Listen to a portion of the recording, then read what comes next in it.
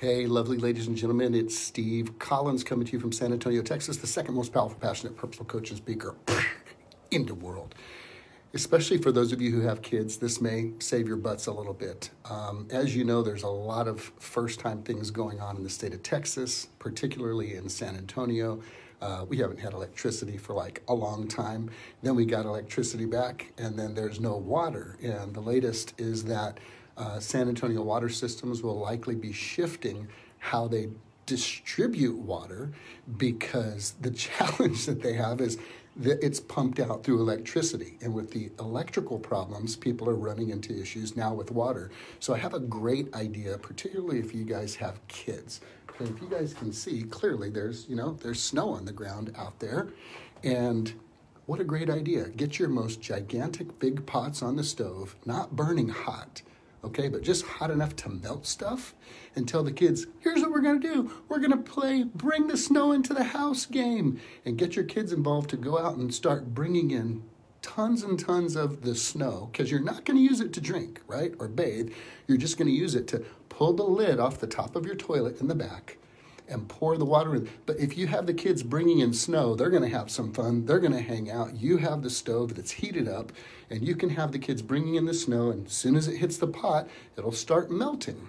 And it'll melt, it'll melt, it'll melt. And then you can start putting that, some people say, into a bathtub, or some people will say putting it into, you know, larger buckets. If you've got those big five gallon buckets, maybe from Lowe's or Home Depot, those big orange ones, or if you've got big containers. But this is a way that you can have access to enough water to begin to flush your toilet. So you can get creative after that. I've got a giant family, so it may be a little gross, but I said, uh, this one's gonna be for number one. Y'all gonna fill it up till it's gross. That one be for number two, and then we fill it up until we start going, and, and then that way you have the water to flush. So, you know, the problem is this um, it's not that people run out of resources, it's your capacity and ability to be resourceful in the moment. So you've got plenty of like literally frozen water sitting out there. And if you've got kids who are bored or sitting at home, play the bring in the snow game. You've got four burners on the stove. If you have electricity, hopefully you have electricity. And then you can begin to put it in there little by little, let it melt. Fill it up into buckets, and then you'll have enough water.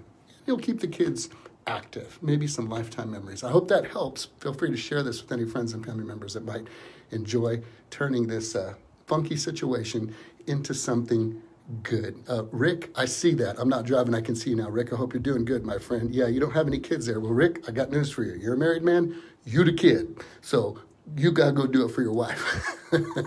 okay? But if you got snow that's sitting out there, guess what? You have enough water just waiting to be melted. Again, not hot enough on the stove that it would actually begin to evaporate, but just hot enough uh, and warm enough that it would melt so that you guys can, can actually use that to fill up whatever else you need to fill up.